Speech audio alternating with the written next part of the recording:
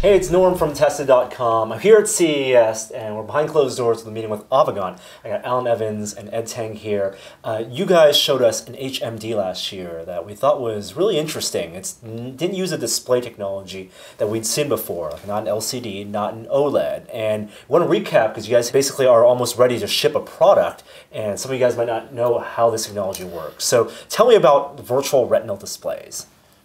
Uh, what you do is when you see the world around you, you're seeing reflected light. And when you look far away, you're getting this reflected light off like the mountains. Or if we look out a window, you see reflected light from far away.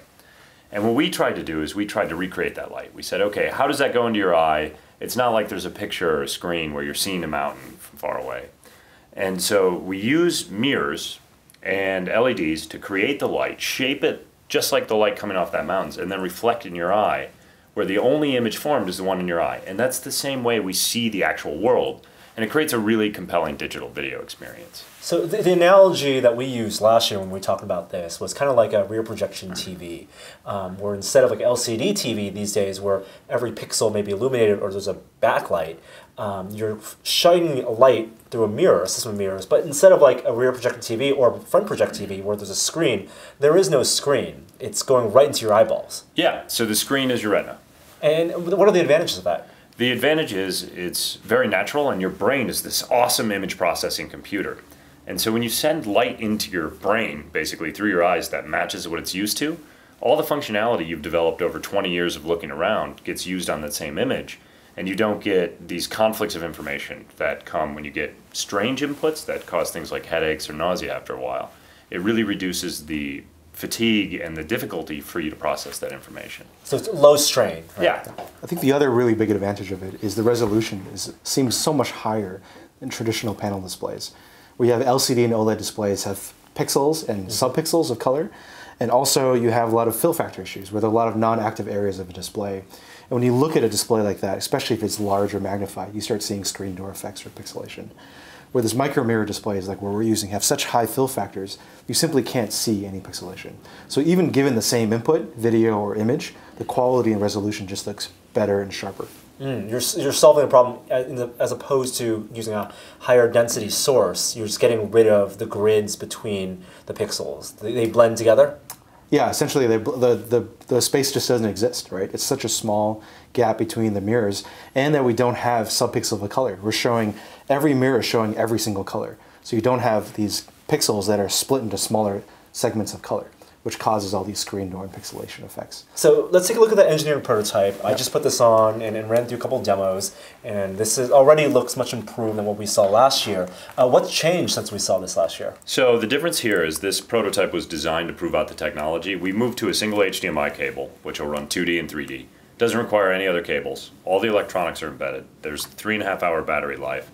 And we've updated the optics to be both lighter and also be crystal clear from corner to corner. So last year we we hadn't nailed the edges yet. Here we have, but um, we also have done a lot of very very interesting things to minimize power consumption and uh, facilitate a handshake with almost any device. So when you saw it, you saw it from a PlayStation, you saw it from a computer, from a phone, there's just a, a, lot of things that we now support, which is fantastic. Let's show the people out there exactly what might be going on because it's not like there is a screen here, you know, like a five-inch screen or a six-inch screen like you see on the phone that some other HMD makers are using.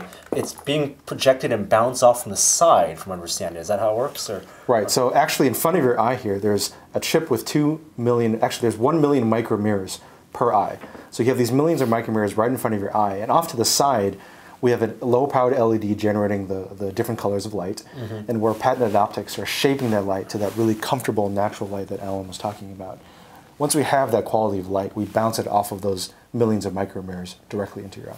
So you, the, you the quote unquote input resolution that's only limited by the size of the micro mirror array.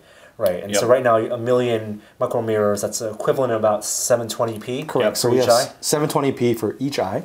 And of course, the, the technology is very mature. We can scale that resolution larger as needed down the road. So if your supplier, whoever's making the micro mirrors, if they have a higher density or a larger one later on, we could foresee maybe higher input resolutions? But, uh, the, part of it is they already do. The issue is the pipes. Mm, uh, okay. The HDMI standard is uh, 720p at 60 frames per second. Right. So once the whole ecosystem exists, So once you're at HDMI ready 2.0, then you can do 1080, 60, you know, no problem with two images. Then then that's that's when you'll be ready for that. Yeah, and like we said before, the our the, the chip supplier that we use already have 2K chips, 4K mm-hmm. chips. They all Okay. exist. Yep.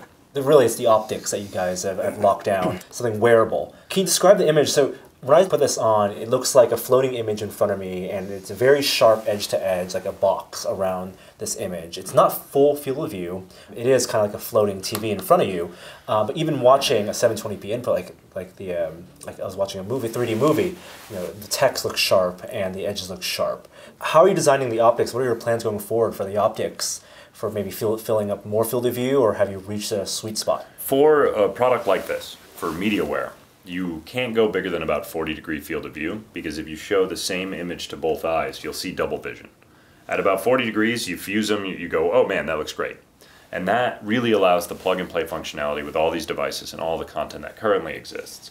At the same time, you know, we are always looking at other applications and other optics specific to those other applications. So, you know, yesterday you saw something that was a little wider field of view, which is in the FPV space, where that more engaging, you know, really pulls you in, but we have more control over the video chain. So there's specific things we can do there.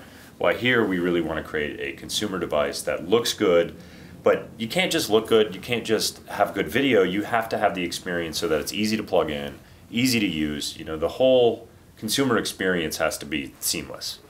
And so this is a sweet spot for that seamless Right. I mean, ultimately, we're designing this to be, I guess, I would call it the premium mobile uh, media device, right? Where all the content you, that you love and own today, all the devices that you have today, you know, you're streaming video from Netflix or YouTube, or if you're in China, you're using Youku and iQIYI. It's going to plug right into your device. You're going to press a button, and it's just going to work, and it feels like you're sitting right in the middle of a fantastic movie theater. And that's what the content is optimized for. That's what our device is optimized for. Just a really fantastic media experience. Yeah, media consumption, your t- standard HDMI feed, any device you want to plug in. And I do want to mention, like, you guys are experimenting with different types of field of views for different applications. I think the FPV multi-rotor flying community was pretty excited to see what you can, what you, how you can fly FPV with a device like this. So that, that was really interesting. So the consumer product, and that's something you're showing off at CES now. So t- talk about the ergonomics of this and what makes good ergonomics for an HMD. hard work makes good ergonomics for an HMD. What we've done here is we've taken all the elements of the engineering prototype and the industrial design and our ergonomic studies.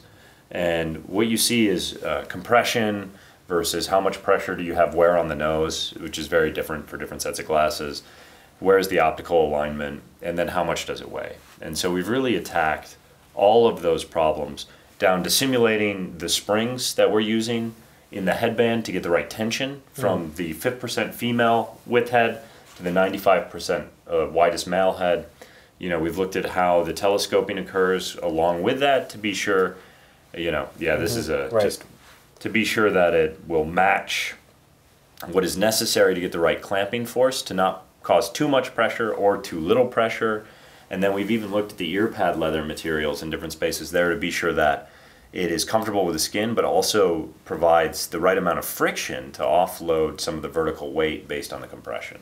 So we've really we've spent a lot of time looking into it. Down to um, we're looking at doing interchangeable nose pieces, almost like the earbud plastics, to be sure that any variants there are easily taken care of. Your points of contact, basically, it's a clamp design, so Yep. you're confident that you don't need a overhead strap, um, and then the nose bridge is where it's resting on, right? Yeah, and to the overhead strap, one of the questions we get all the time is why no overhead strap? Mm-hmm. Uh, it's it's an optional accessory. We're actually putting in clips for it because we have a head tracker. Got it. And if you, you're in Call of Duty and you're whipping your head all over for four hours, maybe you want a strap. And the other thing that is always funny is people talk about when they flip it up, you know, making the lenses dirty, and obviously they're uh, Gorilla Glass, and then we have lens covers. Got it. So both. So you want to make it look like spare headphones. You Yeah. can flip it up and wear it like headphones. yeah. Um, and then for the optics here, um, you can adjust IPD, um, distance between pupils, and also focus. Yep. So we're adjusting IPD on here. These are press down lock mechanisms. So you just push it down, slide it, let go, and it will self lock. That way you don't have it drift around, which can cause problems.